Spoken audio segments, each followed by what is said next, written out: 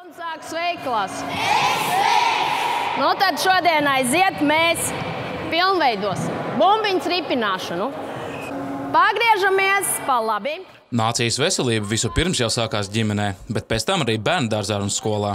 Sporta stundām jau pirmajās klasītēs ir liela nozīme bērnu turpmākajai fiziskajai attīstībai.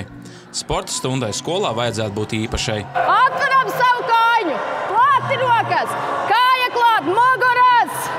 Tieši šajās nodarbībās bērniem jāiemācās galvenokārt izjust savu ķermeni un iemīlēt sportot. Jārada priekšstats, jāiemācās šī kustība, lai viņš netraumētos, lai viņš saprastu, ka, viņ, ka jāskrien ir tomēr arī pareizi, nevis vienkārši aiziet. Ja? Šis te temps, kā ir jāiero, šī elpošana, ka mēs nevaram pēc finiša bremzēt. Bez iepriekšējas tādas fiziskās sagatavotības, nu, baigās ziepes, muguras čupā un, un, un daudz dažādas citas traumas, locīto traumas. Kas ir svarīgākais? Lai tas lokans, lai tu māki, piemēram, skriet, kas vēl, piemēram, daudzos sportos, cilāt svarus. Pa- Pareizi mums pastāstīt, kā darīt, kā smagums. Tas arī sadzīvē noderēt divām, nezinu, pār, pārbīdīt, ne? Uh, pie manis atved 11-gadīgu puisīti vispār iemācīties skriet. Tā, ko viņš ir darījis līdz 4. klasē? Kas tajā skolā notiek? Un tas ir vienkārši kaut kas ārprāts. Bērns atnāk pie treneru un viņš neprot skriet. Bet nekur mācību priekšmetā sports, ne mērķos, ne uzdevumos nav sporta skolotājiem sagatavot audzēkņus priekš treneru darba. Ja sporta stundā nav jāmāca uh, zēnam, meitenei pa- pareizi skriet, bet šo mīlestību par skriešanu iemāca, viņš pēc tam brīvajā laikā skries, skries nepareizi, viņš nodarīs sev pāri. Nu, tad, lūdzu, es jums teiktu, lasiet mūsu valsts izglītības satura centra mājaslapu, kad ir e, jāsaka ieteikumi, un es jūs labprāt gaidīšu. Bet man būtu viens jautājums Rotkas kungam, e, cik tad viņš ir novadījis mācību stundas, vai cik ir bijis skolā, e, ka mēs diezgan tā negatīvi runājam par skolu, jo es zinu, cik smaga ir pedagoģa profesija un cik grūti ir strādāt. Un tas nav treniņu darbs, kur tev atnāk pieci bērni, desmit bērni. Pārsoļojam mierīgi! Šobrīd pamatskolas izglītībā iekļautas divas obligātās sporta stundas nedēļā. Maz, saka lielākā daļa ekspertu. Tieši laika trūkuma dēļ bieži tiek izlaista iesildīšanās un atsildīšanās, nemaz nerunājot par traumatisku liekšanu uz asfalta un izturības skrējieniem bez iepriekšējas sagatavošanās. Mums jau neviens nemācīja, kā skriet pareizi. Pirms aizgāju uz treniņiem, viegli gāju, tam man iemācīja skriet pareizi. Neviens nemācīja, kā to darīt. Priekš kā viņam tā tālākšana, ja nav iespējas normālā sektorā to izdarīt, normāli teikt, apmācīt. Nu, priekš kam te tāda tālākšana ielikt iekšā? Tev galva ir ta- ta- tam, jau tu esi mācījies par to pedagogu. Nevis lai spē- st- strādātu lielās hallēs un ar, ar visu, visu, visu, kas tev ir vāc, dari, meklē inventāru. Nu, Tāpēc es esmu pedagogs. Tu Dari visu, kā, kas tev ir iespējams. Nevis čīkst par to, kas tev nav iespējams, bet dari, ko tu vari izdarīt no tā, kas tev ir dots. Lai es tagad tiešām pateiktu, jā, bērni paliek, eh, kā tagad, eh, teiksim tā, saka, vājāki, tīzlāki, ja nemākulīgāki. Nu, nav tāda, viņam ir jāstrādā. Protams, ir vājāks, kuram nepadodas. un Viņš saka, nu, nē, man nepatīk tā, tas dribbles. Iedod bumbu, nu tad uz, uzraujam bumbu. Nav slikti, ok, vismaz kaut ko. Bet kaut kā, nu, kas ir, kas ir tas mērķis, ko mēs gribam panākt ar to programmu vai kaut kādu? Kas ir tas mērķis, kas ir atskaites punkts?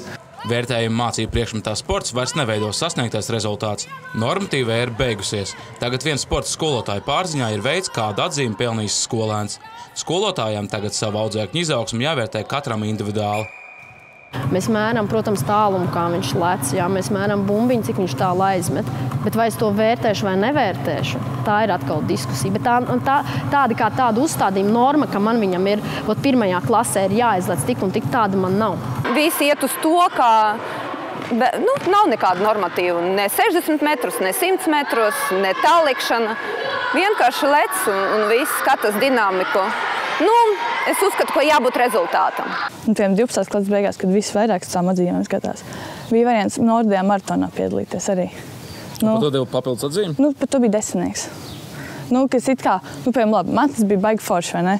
mierīgs desmitnieks, bet nu, bija ļoti daudz meitenes, piemēram, kurām bija ļoti svarīgi atzīmes. vai ne? Visur ir desmitnieks, devītnieks. Sportā viņām nav desmitnieks, devītnieks, tāpēc, ka tur nu, ļoti dīvains ieskaits. Nevari noskriet, neskrien. Es redzu, kā tu jūties. Nu, es taču redzu, ja tu krīti nost, tad tu nevari vairāk. Tātad, un jums pavasarī ir pilnas tiesības ielikt labu, labu atzīmi, tāpēc, ka viņš pavasarī var noskriet pa tāpēc 200 viņš var metriem noskriet vairāk. pat divām minūtēm minūtēm, vairāk. Vai, vai, un, un tas, kurš labi skrien, ja es redzu, ka viņš skrien lielā tempā, tad tas ir vēl viņa bonus klāt. Ziniet, kas ir vietlaiks pamatā?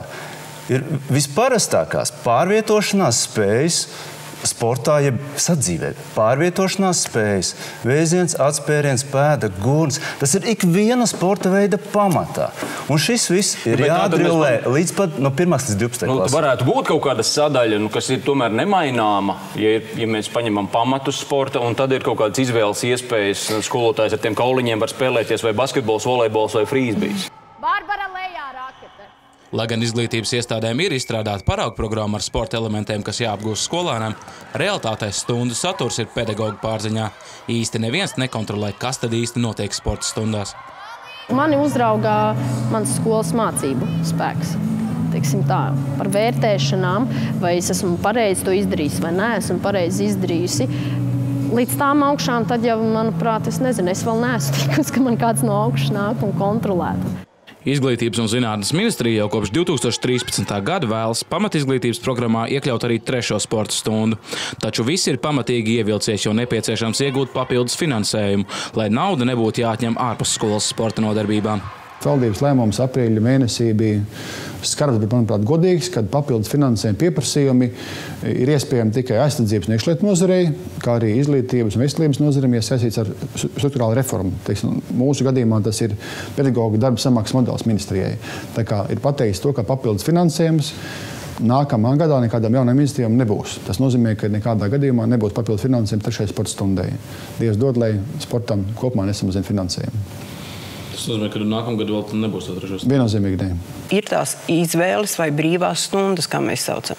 Ar zvaigznītēm ir ieteikts izmantot sporta. Tātad pašvaldība jūs- līdzfinansējot, Jā, vēl ja, papildus jā, finansējot, ja jūs paskatītos apmaksāt vidējās izglītības, eh, vidējās izglītības, eh, izglītības programmās, ja, tad jūs šeit redzētu, ka tur jau arī ir. Dabīgi tie ir ieteikumi. Tajās divās stundiņās var paveikt nu, Uber. Bet to visu tā kā salikt, to programmu, tā programma nav sarežģīta. Vienkārši jāseko līdzi, lai lietas tiek izpildītas pareizi. Lielajiem jau patīk, ka tu strādā vairāk tā kā sporta klubā. Mētens bija sajūsmā, kad es taisīju tīrus tādus sporta kluba fiziskās attīstības treniņus. Viņas teica, citi par to maksā lielu naudu. Mēs to visu dabūjam bez maksas. Viņ, viņiem patīk, ka viņiem stāsta, kurš muskulis kurā brīdī tev darbojas, kāpēc tu cēl kājas vai kāpēc tu cēl ķermeņa, augšdaļu. Viņiem patīk, viņiem. Vis- vispār mūsdienās bērniem patīk, ka viņiem skaidro, kāpēc tu dari šo. Un tad, kad viņam pasaki, viņam nebūs jautājumu. Viņš, ne, viņš neteiks, es to nedarīšu, jo man tas liekas bezjēdzīgi. ķermeni nostiprināt. Tas ir tik elementāri. Tas aizņem 10, 12, varbūt maksimums 15 minūtes. Uz grīdiņas, jā, tā saucamās grīdiņas, jā, dziļās muskuļu šķiedras ar savu svaru. Quadriceps, jā, tātad uh, lielos uh, gurnu muskuļus vai arī kāju muskuļus un tā tālāk. Tas ar savu svariņu funkcionāli uztaisīt to bērnu tā, lai viņš tiešām sajūta beidzot sevi.